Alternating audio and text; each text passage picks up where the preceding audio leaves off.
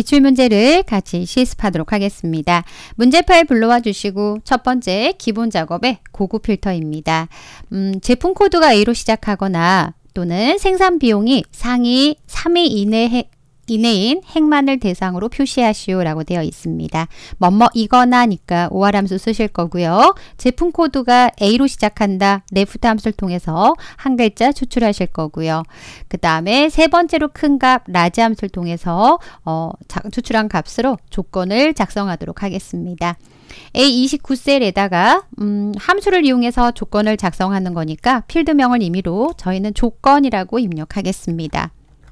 그 다음 두 가지 조건에 한 가지라도 만족하면 추출하겠습니다. 라고 OR 함수 입력하시고요.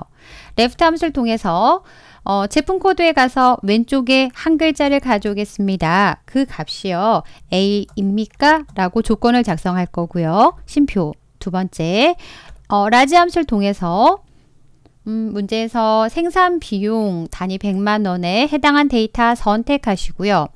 단 LARGE 함수를 통해서 생산 비용을 비교할 영역은요.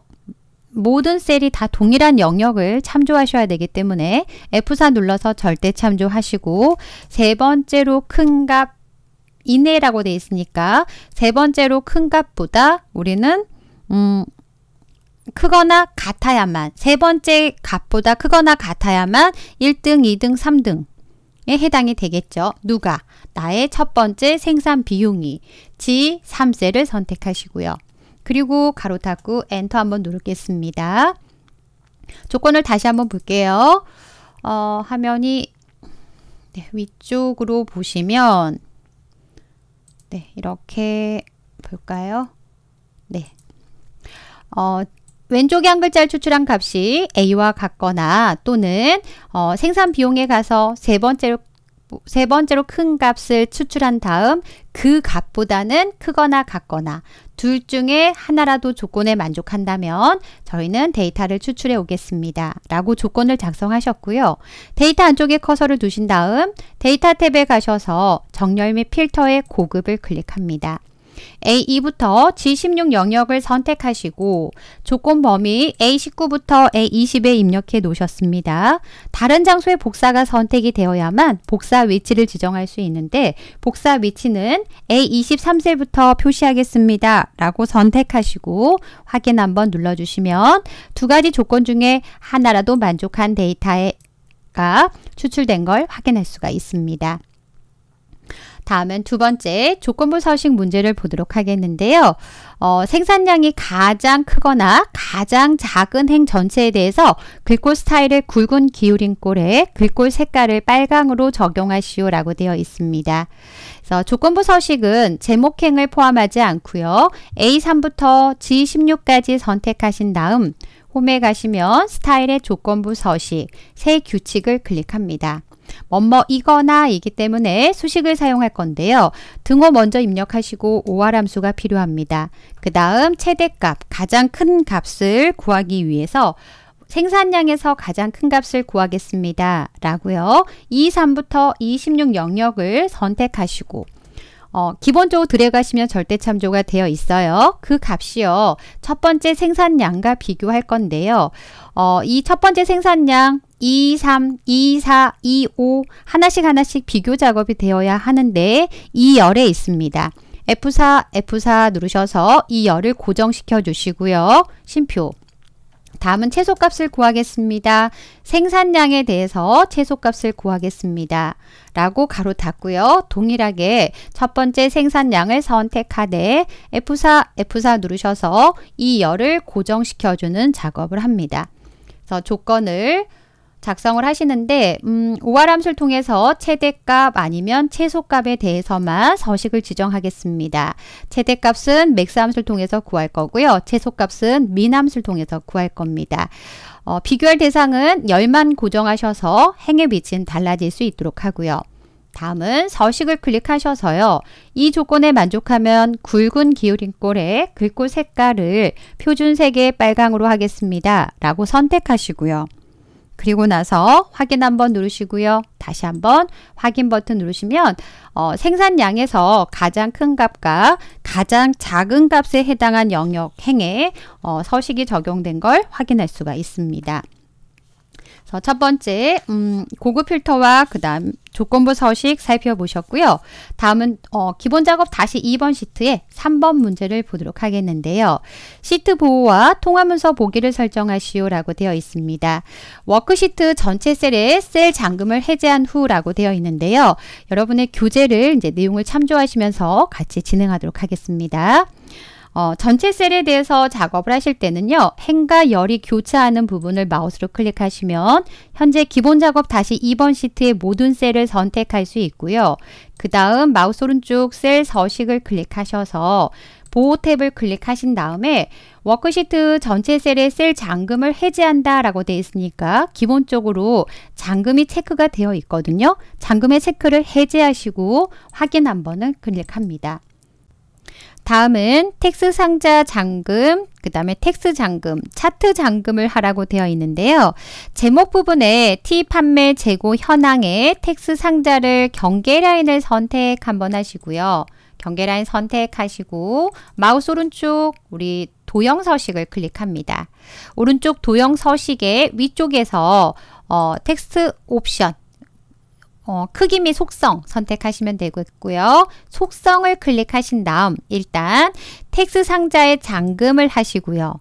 그 다음 문제에서 텍스트 잠금이라고 되어 있으니까 텍스트 잠금도 체크하시고요. 텍스트 상자와 텍스트 잠금 둘 다 선택해 주시고 다시 차트를 선택하시고요. 차트도 마찬가지로 크기 및 속성을 클릭하신 다음 어, 속성에 잠금을 선택하시면 차트 잠금을 하실 수가 있습니다. 다음은 G4부터요. G16 영역을 선택하신 다음에 마우스 오른쪽 셀 서식을 클릭하셔서 문제에서 해당 영역에 대해서는요. 셀 잠금, 수식 숨기기 하라고 되어 있어요. 그래서 두 개 옵션을 선택하시고 확인 한번 눌러주시면 되겠습니다.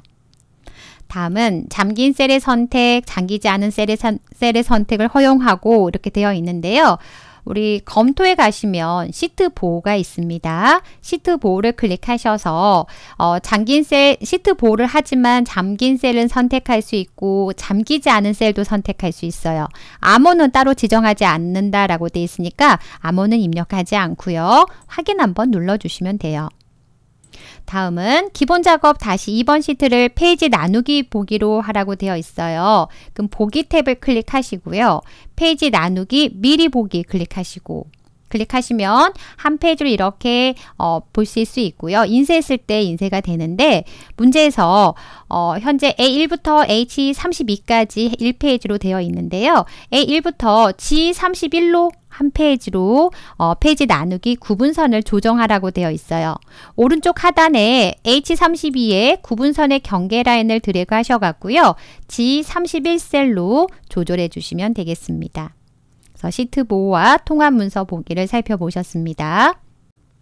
다음은 계산 작업 문제를 같이 보도록 하겠습니다. 계산 작업의 첫 번째 문제 보도록 하겠는데요. 어, 자산 코드와 자산명을 이용해서 자산 구분 영역에 표시하시오 라고 되어 있는, 있습니다. 음, 우리 계산 작업 시트를 클릭 한번 하시고 그 다음 커서를 B3셀 갖다 놓으시고 여러분의 교재 내용을 보시면서 같이 실습을 하겠습니다. 자산 구분은요. 어, 센터명과 그 다음에 자산명을 이용하여 표시하시오 라고 되어 있습니다. 센터명은 아래쪽에 표 2를 참조하실 건데요. 센터명은 자산 코드의 왼쪽에 한 글자를 이용해서 아래쪽 표 2에서, 2에서 H 룩업을 통해 가지고 첫 행에서 찾고 두 번째 행에서 가져오실 거고요. 그 다음 자산명은 뒤쪽에 있는 C열의 셀을 참조하셔서 어, 하이픈과 연결해서 표시하실 겁니다. 서울센터, 그 다음에 하이픈 노트북이라고요. 그러면 음, HLOOKUP과 LEFT 함수를 통해서 우리는 어, 자, 센터명을 찾아오실 거고요. 그 다음 어, 센터명과 그 노트북, 자산명과 하이픈은 어, CONCATENATE 함수를 이용해서 어, 연결해서 표시하도록 하겠습니다. 커서를 B3에 갖다 놓으시고요. 입력하신 다음 등호를 입력하시고 CON 입력하신 다음에 함수 선택하고 더블 클릭 그 다음 HLOOKUP 함수를 통해서요. 값을 찾아오도록 하겠습니다.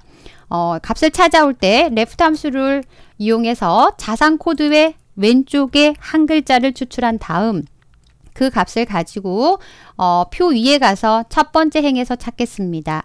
표 위의 데이터는 수식을 복사하더라도 항상 같은 자리니까 F4 눌러서 절대 참조하시고요. 첫 행에서 데이터를 찾고 두 번째 행에서 가져오겠습니다. 2라고 입력하시고요. 정확하게 일치하는 값을 가져오겠습니다. 라고 0이라고 입력하거나 false를 입력하시면 되고요. 그 다음 문자 빼기 연결하실 거고요. 다음 어, C3에 있는 자산명과 연결하겠습니다. 라고 C3을 마우스 클릭이 되지 않는다면 방향키 이용하셔서 C3을 선택하시고 가로 닫고 엔터 눌러주시면 어, 센터명과 자산명을 연결해서 자산 구분을 표시할 수가 있습니다. 첫 번째 계산 작업 살펴보셨고요. 다음은 두 번째 자산 코드와 잔존 가치, 감가, 사, 감가 상각비를 이용해서 표 3의 구분별, 어, 표 3의 구분별 어, 잔존 가치와 감가 상각비를 음, 계산해서 표시하라고 되어 있습니다. 문제에서 음, 해당된 데이터의 합계를 SUM함수를 통해서 구하시면 될 것 같고요. 구분은 자산 코드에 따라 다르며 구분은 자산 코드의 마지막 문자로 구분함이라고 되어 있습니다. 그래서 구분은 음, 자산 코드에 가서 오른쪽에 한 글자를 추출한 값이 S와 같습니까? T와 같습니까? U와 같습니까? 라고 비교 작업을 하실 겁니다. 그러면 커서를 C32셀에 갖다 놓으시고요. 어, 배열 수식을 작성할 거예요. 첫 번째 합계를 구하겠습니다. 썸이라고 입력하시고 조건을 작성하기 위해서 가로를 열고요. 첫 번째 조건은 라이트 함수를 통해서 오른쪽에 있는 한 글자를 추출하도록 하겠습니다. 자산 코드에 가서 음, 선택하시고 F4 눌러서 절대 참조. 한 글자를 추출한 값이요. S와 같습니까? S와 같습니까? 라고 하는 A32, A33, A30 4를 비교하실 겁니다. 네, A열에 있기 때문에 F4, F4, F4 눌러서 A열을 고정시켜 주시고요. 가로 닫고 곱하기 다음에는 잔존 가치에 해당한 값을 가져올 건데요. 잔존 가치는 F3부터 F24를 참조하되 이따가 수식을 복사했을 때 F가 아닌 G열로 감가상각비를 구할 수 있도록 어, 열의 위치는 달라질 겁니다. 그러면 범위를 지정하시고 F4, F4를 눌러서 어, 행의 위치는 고정하되 열의 위치는 바뀔 수 있도록 해주시고 그 다음 괄호 닫고요.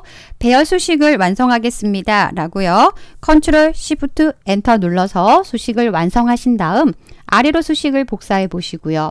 오른쪽으로 수식을 복사해 보시면 각각에 해당한 구분 코드에 해당한 잔존 가치와 감가상각비의 합계를 구하실 수가 있습니다.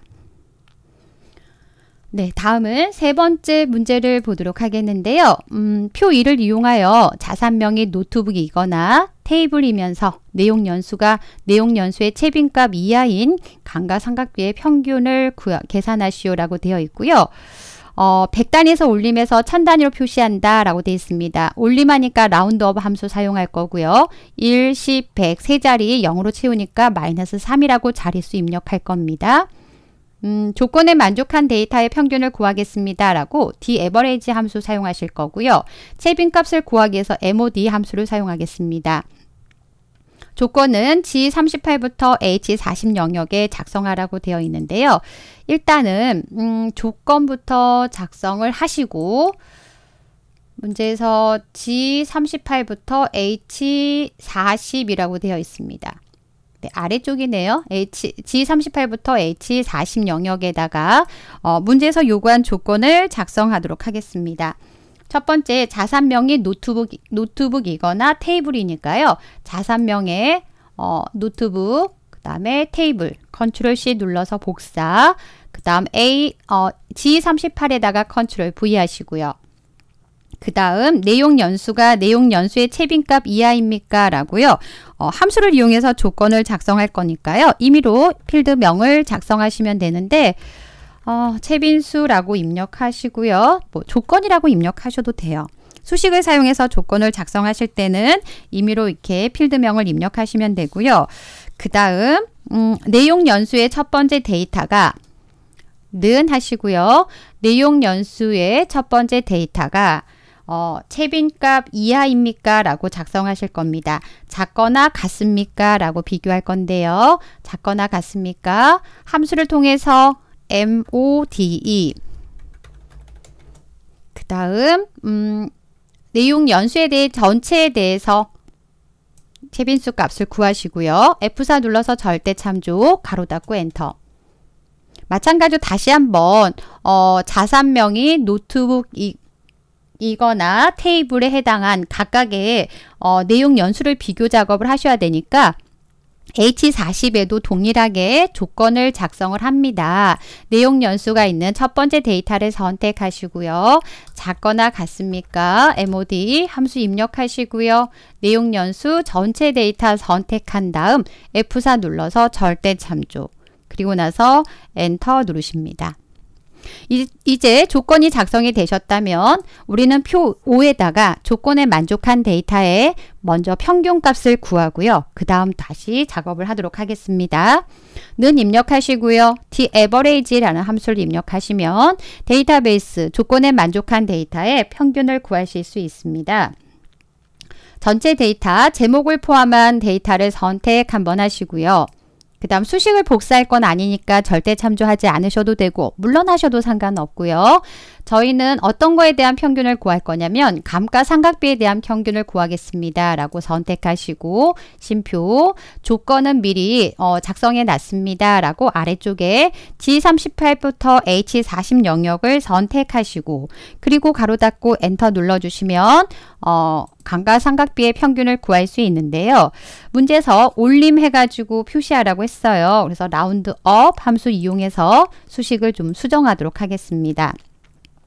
ROUNDUP 입력하시고 숫자는 구해 놨고요. 뒤에 가서 1, 10, 100 마, 어, 마이너스 3이라고 입력하셔서 100의 자리에서 올림해서 천 단위로 표시하겠습니다. 라고 어, 마이너스 3 입력하시고 엔터 눌러주시면 되겠습니다. 네, 그래서 세 번째 계산 작업 살펴보셨고요. 다음은 네 번째 계산 작업 문제를 보도록 하겠는데요. 어, 표 1에 표 1에서 내용 연수와 감가상각비를 이용해서 표 4에 H28부터 H32 영역에다가 내용 연수별 감가상각비가 가장 높은 자산명과 코드, 자산 코드를 표시하라고 되어 있습니다. 어, 우선 우리가 데이터를 찾아올 때, 음, 찾아올 내용은 자산명을 찾아올 거고요. 자산 코드도 찾아올 거예요. 인덱스 함수를 통해서 찾아올 거고요. 행의 위치를 매치 함수와 MAX 함수를 통해서 가장 높은 최대값에 해당한 위치의 행을 어, 설정하실 거고요. ampersand 연산자를 사용한 배열 수식이라고 되어 있는데 n%는 이 가로와 함수를 연결하실 때 사용을 하실 겁니다. 그러면 음, 같이 수식을 작성하도록 하겠는데 네, 커서를 어, H28셀에 갖다 놓으시고요. 첫 번째 등호 입력합니다. 어, 인덱스라고 입력하시고요. 인덱스. 그 다음 우리가 첫 번째 찾아올 거는 자산명을 찾아오겠습니다. 라고 C3부터 C24를 선택하고 F4 눌러서 절대 참조하시고요. 쉼표 행의 위치는 매치 함수를 통해서 행의 위치를 구할 겁니다. 그 다음 매치 함수에서 최대값에 해당한 어, 값의 위치를 찾겠습니다. 라고 최대값을 입력하는데요. 괄호 열고요. 음, 아, MAX 입력하시고 괄호 열고요. MAX 안에서 조건이 내용 연수에 해당한 데이터니까 괄호 여시고 조건을 작성할까요? 조건 곱하기 그 다음 내용 연수 우리는 음, 내용 연수에 해당한 문제 잠깐만 볼게요. 어, 내용 연수별 감가 상각비가 가장 높으니까요. 내용 연수는 조건으로 작성하실 거고 그 다음에 실제 최대값은 감가 상각비에 대한 데이터를 가져오실 겁니다. 그래서 F4 눌러서 절대 참조하시고요. 그 다음 맥스에 대한 가로를 닫으실 건데요. 제가 조건을 작성하지 않았으니까 다시 조건을 작성할게요. 어, 내용 연수에 가서 선택하시고 F4 눌러서 절대 참조. 그 다음 그 값이 바로 왼쪽에 있는 숫자 내용 연수 1과 같습니까? 라고 조건을 작성할 겁니다. 아래로만 복사할 거기 때문에 따로 뭐 작성하지는 않으셔도 되고요. 그러면 인덱스 함수를 통해서 자산명을 찾아오는데 가장 큰 값, 감가상각비가 가장 큰 1년차 내용 연수에 해당한 어, 최대값의 행의 위치를 찾아가지고 찾아올 겁니다. 그러면 MAX 함수를 통해서 우리는 음, 가장 큰 값은 구했고요. 그 값을 MAX를 뺀 나머지 범위 정하신 다음 컨트롤 C 그 값을 가지고 쉼표 같은 행에 가서 우리는 음, 몇 번째 있는지 찾겠습니다. 쉼표 정확하게 일치하는 위치에서 찾아오겠습니다. 라고 매치에 대한 괄호를 닫으시고요. 그리고 나서 음, 다시 한번 인덱스에 대한 괄호를 닫고 엔터 한번 눌러보시면 아, 배열 수식이니까 오류가 난 거예요. 컨트롤 시프트 엔터 눌러서 완성하시면 내용 연수가 1년 차에 해당한 1년 1년 1년 차 1년 된 어, 값의 가장 최대 감가상각비가 가장 큰 자산명은 찾아봤더니 노트북입니다. 라고 구해졌고요. 아래까지 수식을 복사해 보면 냉장고부터 시작해서 테이블로 표시가 되어 있습니다.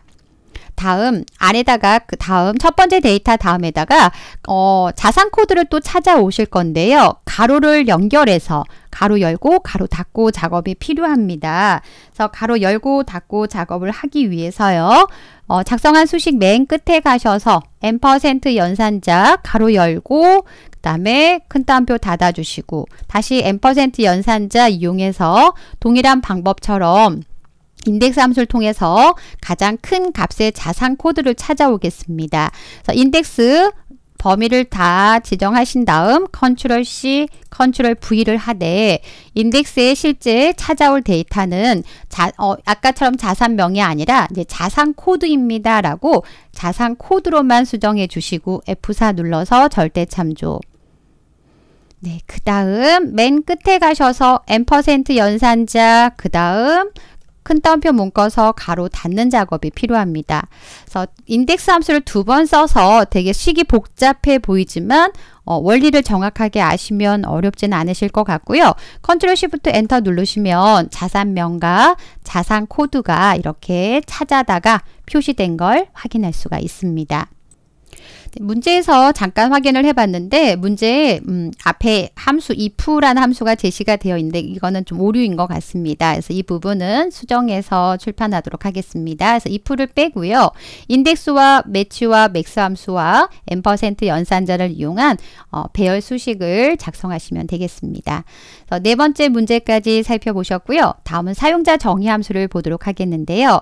어, fn 비고를 작성하여 음, 표시하라고 되어 있습니다. 그래서 자산 코드를 인수로 입력받을 거고요. 자산 코드의 마지막 글자가 U이면 고객용, 그 외에는 업무용으로 표시하라고 되어 있습니다. 그래서 Select Case 문을 사용해서 안쪽에 작성하라고 되어 있는데요. 음, 엑셀 화면에 오셔서 개발 도구에 Visual Basic 클릭하시고요. 삽입에 가셔서 모듈을 클릭합니다. 문제 제시된 사용자 정의 함수 입력하는데요. Public Function FM 비고라고 입력하시고요. 입력받는 값은 자산 코드를 입력받습니다. Select 구문을 이용해서 작성을 하실 거라서 SELECT 입력하시고 케이스 자산 코드의 오른쪽 한 글자를 추출할 거라서 RIGHT 함수가 필요하고요. 자산 코드에 가서 오른쪽 한 글자를 추출해 오겠습니다. 추출한 값이요. U입니까? 라고 비교하실 거고요. U이라면 저희는 FM 비고에다가 어, 고객용이라고 표시할 거고요.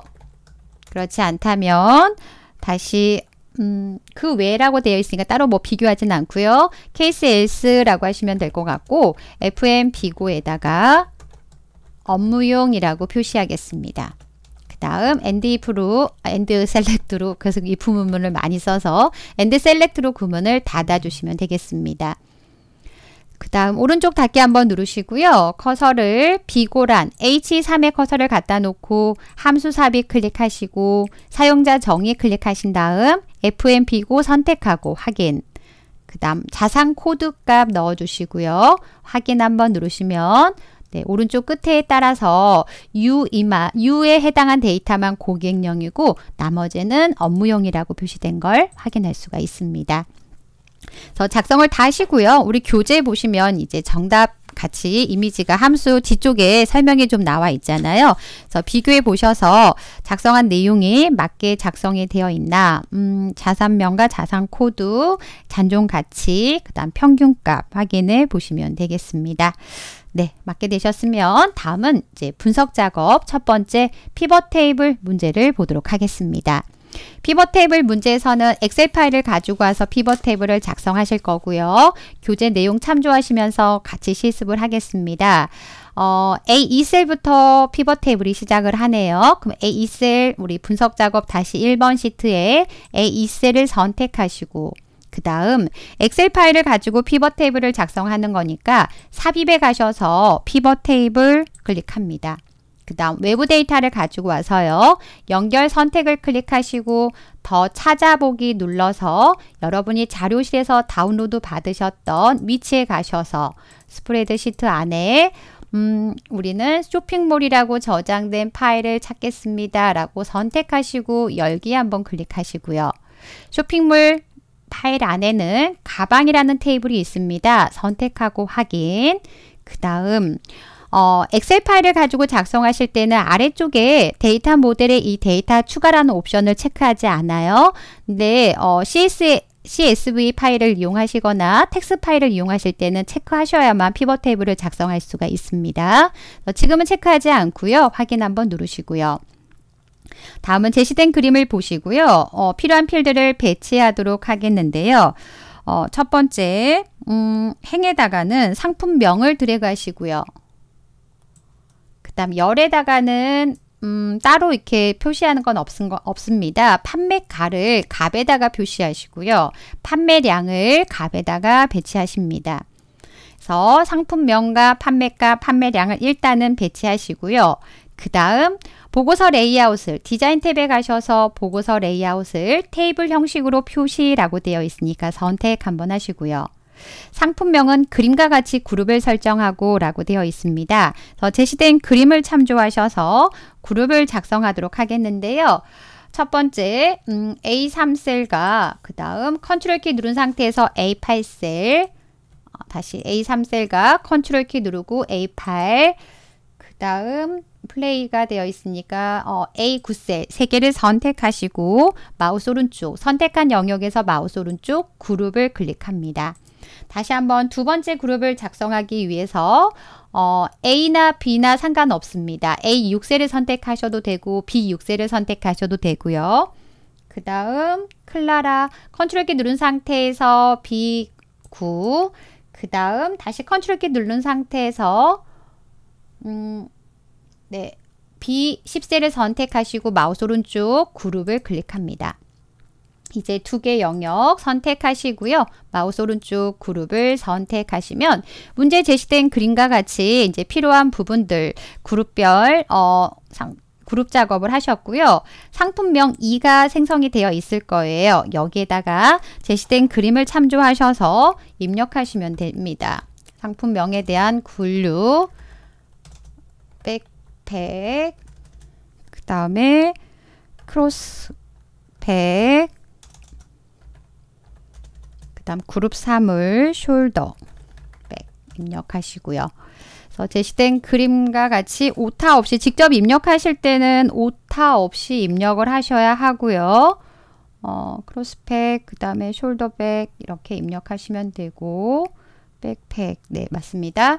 그래서 그룹을 작성하셨으면 음, 상품명은 그림과 같이 그룹을 설정하고 판매량은 열 합계 비율로 나타나도록 판매량을 선택하시고 어, 마우스 오른쪽 값필드 설정 선택하시고요. 값 표시 형식에서 열 합계 비율을 선택합니다. 열 합계 비율. 네, 그리고 나서 어, 따로 뭐 수정하실 건 없으시니까 확인 한번 눌러주시고요. 그다음 판매가에 대해서는요. 숫자를 범주에서 천 단위 구분기호 지정하라고 되어 있습니다. C2셀을 선택하고 마우스 오른쪽 값 필드 설정 더블 클릭하셔도 돼요. 표시 형식을 클릭하셔서 숫자에 천 단위 구분기호를 사용하겠습니다. 라고 체크하시고 확인 한번 다시 한번 확인 버튼 누르시고요. 부분합은 그룹 하단에 표시하시오 라고 되어 있으니까 디자인 탭에 가셔서 부분합을 클릭하되 그룹 하단에 부분합 표시 한번 클릭합니다. 중간중간 이렇게 중간에 부분합이 구해져 있고요. 플러스 마이너스 단추는 표시하지 않겠습니다. 분석 탭에 가셔서 표시에 가셔서 플러스 마이너스 표시 체크를 해제해 주시고요. 선택을 해제하시는 거고요. 그 다음 피벗 테이블 스타일을 디자인 탭에 가셔서 어, 스타일을 목록을 클릭하신 다음에 보통에 가시면 10이라고 선택 한번 하시고요. 피벗 테이블 스타일의 옵션에 행머리글, 열머리글, 그 다음에 줄무늬 행을 체크하시면 되겠습니다. 작성하신 후에 여러분의 제시된 그림과 여러분이 실습한 내용을 한번 비교해 보시고 맞게 작성이 되어 있는지 확인해 보시면 되겠습니다. 분석 작업의 첫 번째 피벗 테이블 문제를 살펴보셨고요.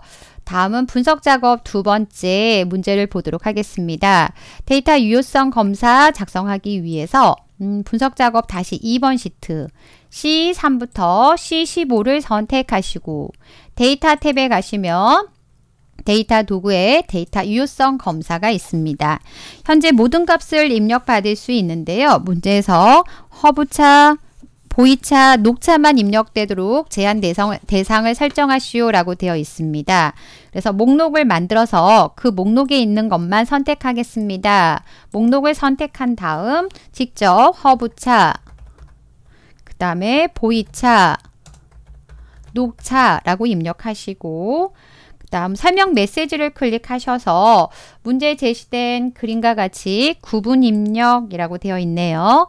구분 입력 설명 메시지에 오셔서 허브차, 보이차, 녹차만 입력하세요 라고 작성하시고요. 오류 메시지 제시된 그림을 보셨을 때 X니까 중지 어, 메시지 위쪽에 타이틀은 입력 오류라고 되어 있고요. 오류 메시지에 오셔서 구분 목록을 확인하세요 라고 입력하십니다. 구분 목록을 확인하세요. 확인 한번 눌러주시고요. 그러면 이렇게 음, 메시지가 어, 설명 메시지가 표시가 되고요. 그 다음 음, 문제에서 부분합을 작성하라고 되어 있습니다. 이렇게 띄어쓰기가 된 거는요. 제가 이제 캡처했을 때 확대가 되어 있어서 어, 띄어쓰기가 되는데 실제 여러분 실습하실 때 이렇게 붙여서 표시가 되실 거예요. 그래서 이거 이 부분 뭐 따로 엔터를 누르지는 않습니다. 다음은 부분합을 작성하기 위해서 어, 구분별 가격의 평, 균을 계산한 후에 판매량의 최대값을 계산하시오라고 되어 있습니다. 구분을 가지고 음, 문제에서 오름차순하라고 되어 있으니까 데이터에 가셔서 정렬, 구분 필드를 가지고 오름차순 하겠습니다. 정렬 한번 하시고요. 그리고 나서 데이터에 부분합을 클릭하셔서 구분별 가격의 구분별 가격의 평균을 계산하겠습니다. 그 다음 가격을 체크하시고요. 확인 한번 누르신 다음 다시 부분합을 클릭하셔서 판매량의 최대값을 구하겠습니다. 가격을 체크를 해제하시고 판매량을 체크하되 음, 조금 전에 구한 평균도 표시할 거고요. 지금 구하는 최대값도 표시할 거니까 새로운 값으로 대체라는 체크를 해제하시고 확인 한번 눌러주시면 되겠습니다. 그래서 분석 작업 다시 이번에 데이터 유효성 검사와 부분합 작업을 하셨고요. 다음은 이제 기타 작업 첫 번째 차트 문제를 같이 보도록 하겠습니다. 여러분의 교재를 참조하셔서 같이 실습을 하도록 하겠는데요. 차트 제목은 그림과 같이 입력하라고 되어 있어요. 차트를 선택하고 차트 요소에 가셔서 차트 제목을 클릭합니다. 어, 제시된 그림을 참조하면 허브차 판매 현황이라고 입력하시고요. 허브차 판매 현황이라고 입력하고 범례는 위쪽으로 표시하시오 라고 되어 있으니까 차트 요소에 가셔서 범내 가셔서 위쪽을 선택합니다.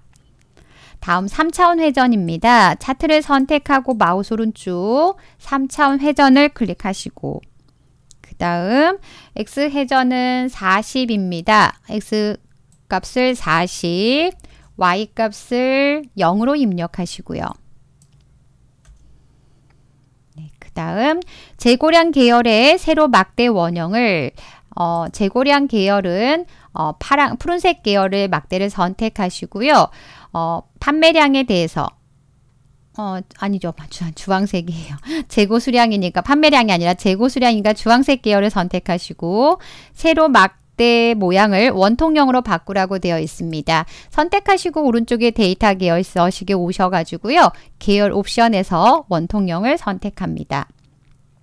다음은 세로 갑축에 대해서 어, 값을 거꾸로 표시되도록 설정하시오 라고 되어 있습니다. 세로 갑축을 선택하신 다음에 음, 축 옵션에 클릭하셔서 값을 거꾸로 라고 체크해 주시고요. 밑면 교차의 축 값을 10으로 하세요 라고 되어 있습니다. 그래서 다음 값에서 밑면 교차라고 있고요. 축 값을 문제에 나와 있는 10을 입력하십니다. 그래서 10에서부터 막대가 이렇게 표시가 되는 거죠. 교차하는 값은 10부터 교차하겠습니다. 라고 수정하시고 그 다음 판매량의 계열을 선택하시고요. 데이터 레이블과 설명선을 추가라고 되어 있으니까 마우스 오른쪽 데이터 레이블에 가셔서 데이터 설명선 추가 클릭하시면 이렇게 제시된 그림과 같이 어, 데이터 레이블과 설명선을 표시할 수가 있습니다. 네, 다음은 차트 영역의 테두리 스타일은 차트 영역을 선택하시고 그 다음에 채우기 및 선의 테두리에 가셔갖고 둥근 모서리를 선택하시고요. 그 다음 그림자 효과를 클릭하셔서 그림자 선택하신 다음 오프셋 대각선 오른쪽 아래 어, 선택합니다. 효과는 음, 네온 효과를 넣으실 건데요. 네온을 선택하시고 미리 설정해 파랑, 8pt라고 되어 있습니다. 마우스 갖다 놨을 때 파랑 8pt 네온 강조색 1을 선택하시면 되겠습니다. 작성하신 내용 제시된 그림과 비교해 보시고요. 맞게 작성이 되어 있나 확인해 보시면 되겠습니다.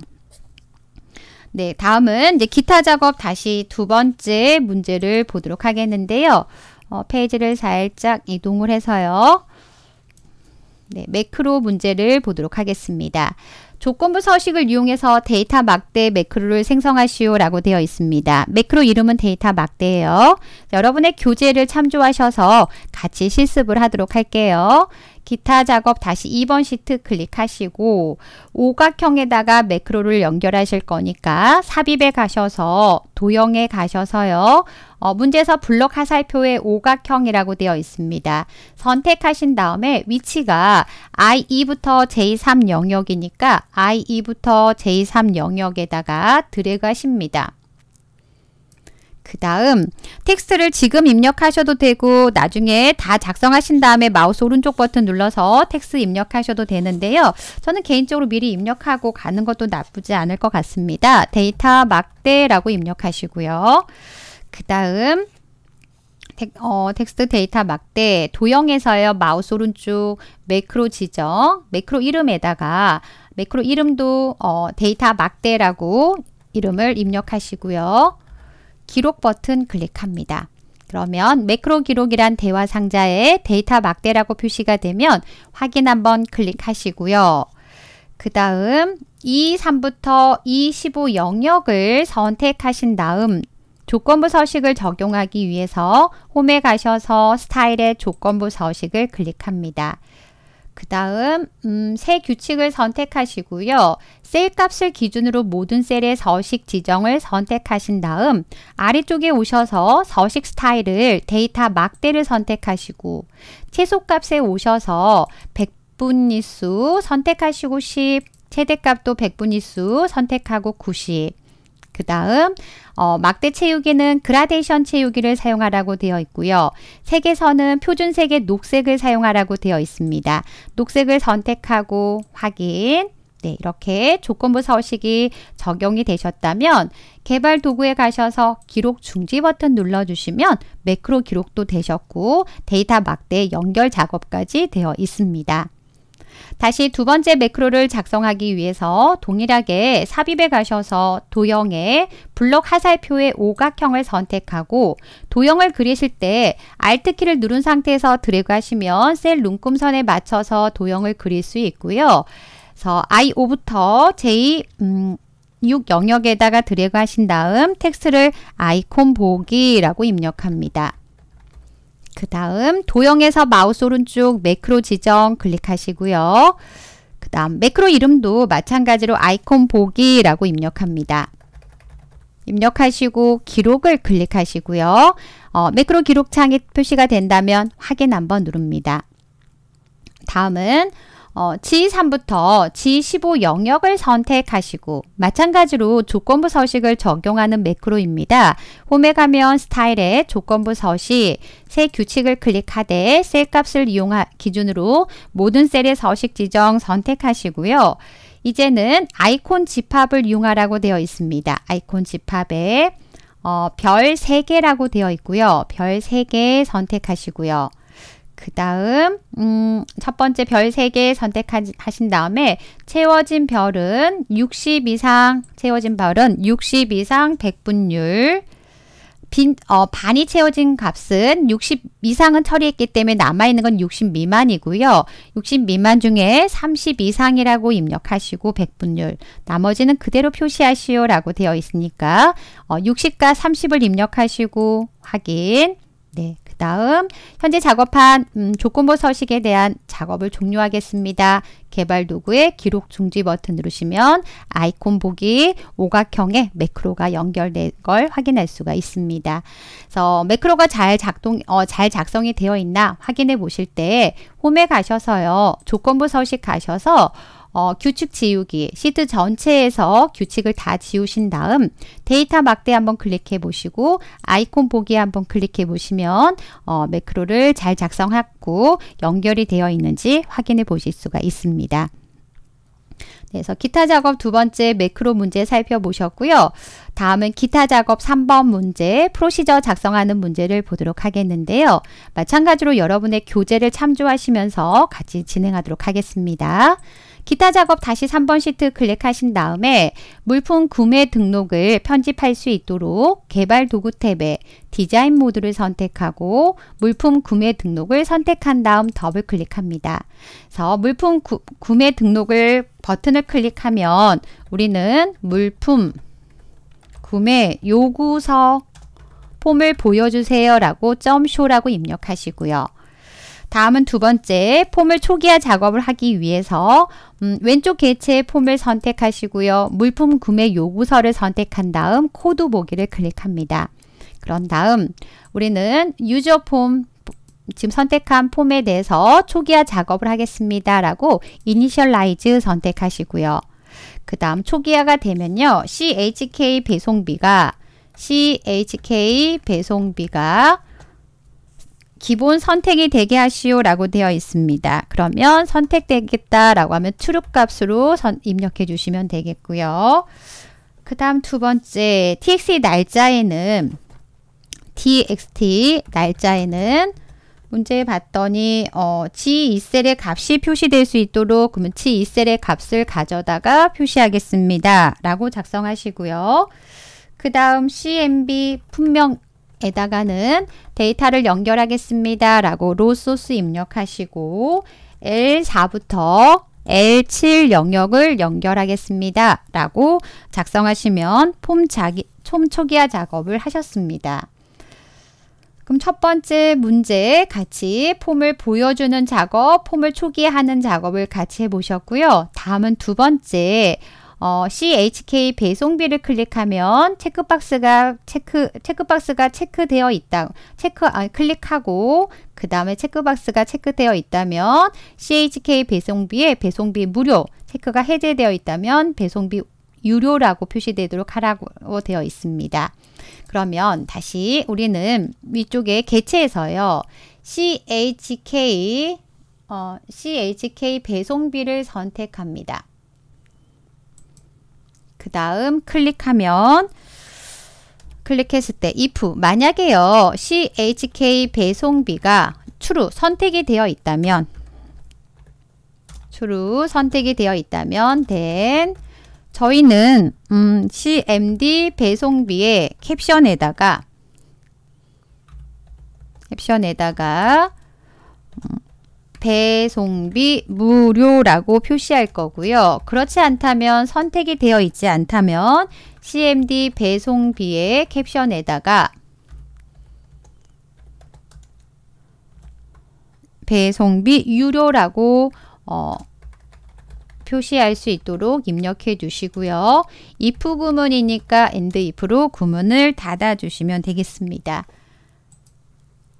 그래서 어, 클릭 배송비를 클릭하고 만약에 어, 체크 배송비가 체크되어 있다면 CHK 배송비에다가 배송비 여기 어, 그림이 여기 있어요. CHK 배송비에다가 어, 배송 CHK 배송비가 아니죠. 어, 여기 음, 여기가 CHK가 아니에요. 제가 이것도 좀 수정하도록 하겠습니다. 여기 CMD 배송비에다가 배송비 무, 어, 체크가 되어 있다면 무료라고 표시할 거고요. 그렇지 않다면 유료라고 표시하겠습니다. 라고 작성해 주시면 되겠습니다. 그 다음 이 부분은 이제 제가 어, 출판했을 때 좀 수정하도록 할게요. 배, CHK 배송비가 아니라 CMD 배송비입니다. 여기 CMD 배송비라고 어, 표시하시면 되고요. 그림처럼 이렇게 표시하시려면 CMD 배송비의 캡션에다가 어, 여러분이 입력한 문구를 표시할 수 있도록 작성하시면 되겠습니다. 다음은 수량의 스핀 버튼을 누르면 위쪽에 개체에서요. SPN 수량을 선택하시고요. 스핀 수량. 어, 수량의 값이 변경되면 txt 수량의 값이 표시될 수 있도록 어, 작성을 하시는 건데요. 어, txt 수량은 스핀에서 스핀 수량에서 어, 선택한 값에다가 어, 일씩 증가할 수 있도록 일씩 마이너스 될 수 있도록 곱하기 1을 해주시면 되겠습니다. 그럼 두 번째 문제까지 같이 살펴보셨고요. 다음은 세 번째 문제를 보도록 하겠습니다. 음, 물품 구매 요구서에 입력 버튼을 클릭하면 폼에 입력된 구매자, 그 다음 품명, 수량, 작성 일자, 배송비, 여기 CMD 배송비의 어, 단가, 그 다음에 금액을 계산하여 어, 표 1에 입력되도록 프로시저를 작성하시오. 근데 여기 단가를 입력받지는 않아요. 봤더니 단가는 CMB 품명과 그 다음 어, 엑셀에 시트에 작성된 영역을 참조해서 셀렉트 케이스문을 이용해서 작성하라고 되어 있습니다.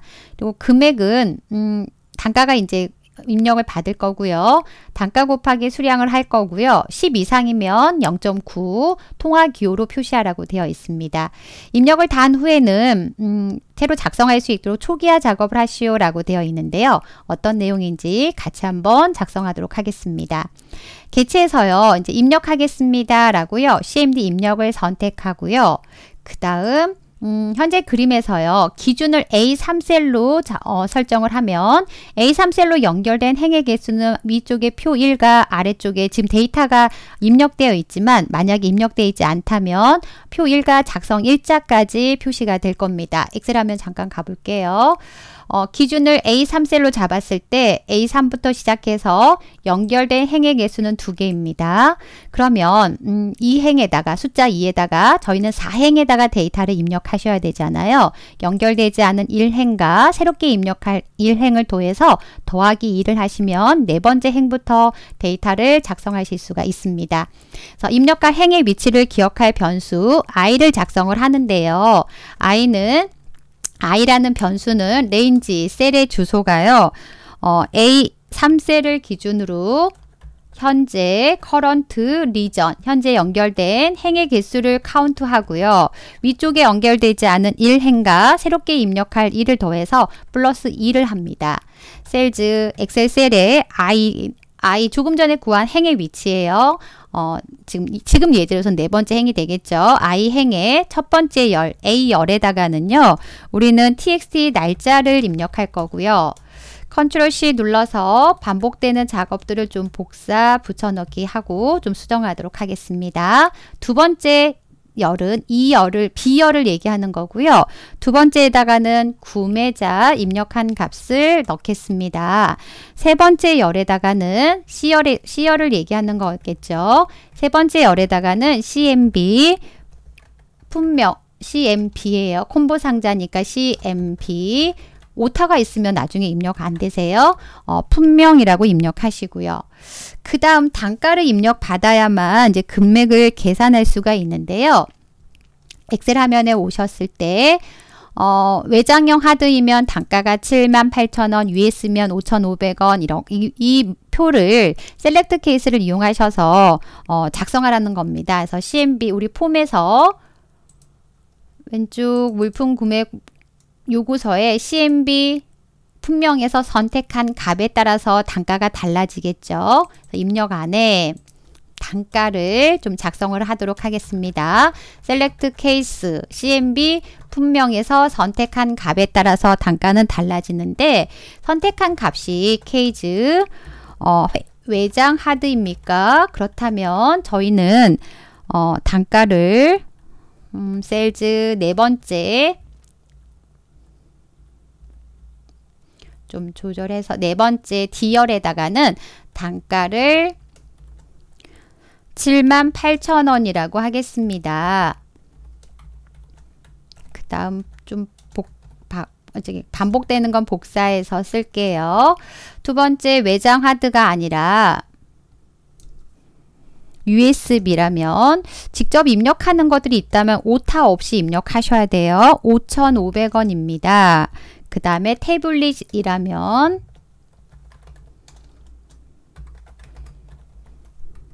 4만 6, 아, 46, 아, 46,900원입니다. 469 하나 둘 입력하시고요. 마우스이다면 9,900원을 입력하시고요.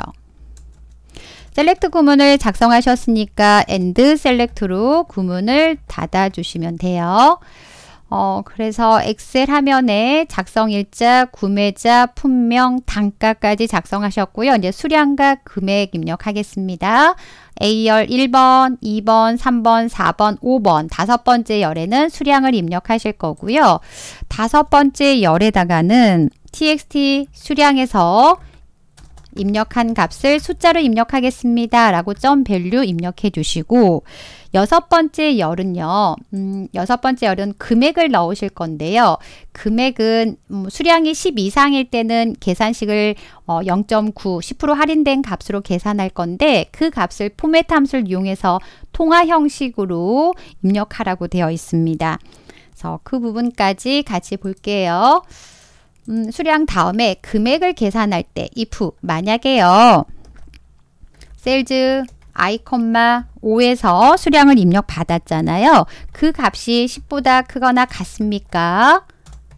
그렇다면 저희는 여섯 번째 열에다가 금액을 계산해서 표시할 건데요. 포맷 함수를 이용해서 형식을 지정할 거고요. 그 다음 수량 곱하기 단가 어, 수량은 네 번째 열, D열 곱하기 셀즈 I, 5 2열에 있는 당, 수량 가져올 거고요. 곱하기 0.9를 해서 계산할 거고요. 그 다음 어, 커런시를 통해서 통화 형식으로 표시하겠습니다. 라고 CU RENCY 문제에 나와 있는 통화 형식으로 표시하시오 라고 되어 있으니까 어, 통화 형식을 CURRENC R을 두 번 입력하시고요. ENCY 입력해 주시고요. 그 다음 그렇지 않다면 수량이 10보다 크지 않다면 else 입력하시고 어, 형식은 동일하는데 곱하기 0.9만 빼줄까요? 곱하기 0.9만 지우시고 엔터 if 구문이니까 end if로 구문을 닫아주시면 되겠습니다. 네, 그 다음 이제 금액까지 계산은 되셨고요. 그 다음에 배송비는 음, 배송비는 우리 CMD 배송비에 있는 캡션의 값을 표시하겠습니다. 라고 하나의 내용만 추가하도록 하겠습니다. sales i, 일곱 번째 열이 되는 거죠. 일곱 4 대신에 7로 수정하도록 하겠고 여기에는 CMD 배송비의 캡션에 있는 값을 표시하겠습니다. 라고 작성하시고 그 다음 음, 입력이 끝난 후에는 새로운 구매자, 품명, 수량을 작성할 수 있도록 초기화 작업을 하시오 라고 되어 있습니다. 초기화 작업은 TXT 구매자는 공백 처리하겠습니다. CMB 품명은 초기화 작업하겠습니다. 큰 따옴표 열고 닫고 하시면 돼요. TXT 수량은 초기화 작업을 하겠습니다. 라고 작성하시고요. Select Case도 작성하시고 if 구문도 있어서 조금은 어려운 프로시저 문제였어요. 근데 사실 프로시저 문제는 세문항에 출제가 되잖아요. 그래서 일단 시간을 보시고 쉬운 문제부터 하시고 시간이 되시면 이제 문제 순서대로 작성하시면 돼요. 다 작성을 했고 혹시나 또 틀린 부분이 있을 수 있어요. 디자인 모드 클릭하셔서 선택 해제하시고 물품 구매 등록을 클릭하면 일단 폼이 나오는가 그 다음에 작성 일 어, 네. 그 다음에 작성 일자는 지2셀에 있는 값이 표시가 되는가 보시고 구매자에다가 문제 예시가 되어 있는 홍길동 한번 입력해 볼까요? 홍길동 그 다음 품명 하나를 선택해 보시고 그 다음에 수량 어, 임의로 하나를 선택해 보시고 뭐 두 개, 뭐 세 개 선택하셔도 되고요. 그 다음 어, 배송비에 이 체크를 해지하시면 유료가 되고요. 체크를 하시면 무료가 됩니다. 그래서 체크에 따라서 어, 캡션에 표시되는 문구가 달라지고요. 위쪽에 스펜을 누를 때마다 하나씩 증가하거나 감소하는 걸 확인할 수 있고요. 그 다음 작성을 작성을 다 하셨다면 입력 눌렀을 때 음, 내가 입력한 데이터에 음, 구매자 품명, 단가, 수량, 그 다음에 금액 표시가 되고요. 캡션에 있는 내용 표시가 되고요. 그 다음 새로운 값으로 입력받을 수 있도록 세 개의 어, 컨트롤에 대해서는 초기화 작업이 되어 있는지 확인하시면 되겠습니다. 종료 버튼 누르시면 될 것 같고요. 여기까지 음, 기본 작업부터 기타 작업까지 실습해 보셨고 어, 시간이 좀 이렇게 한 시간이 가까워지니까 제가 마음이 급해서 문제를 이렇게 충분하게 설명하지는 않았어요. 근데 여러분이 교재를 보시고 그 다음에 제 강의를 이렇게 교재를 보시면서 실습을 하시면서요 동영상을 틀어놓으세요. 뒤쪽에서 목소리를 들으시면서 실습을 하시다가 어 여기 잘 모르겠어라는 부분을 다시 화면에 띄어서 보시고 눈으로만 보지 마시고. 마시고요. 꼭 실습하시고 어려운 부분을 다시 한번 동영상 돌려서 보시면 도움이 되실 것 같고요. 교재도 또 충분하게 정답 및 해설에 어, 저, 지금 설명드렸던 내용이 또 설명이 되어 있으니까 그 부분을 참조하시면 될 것 같습니다. 수고하셨습니다.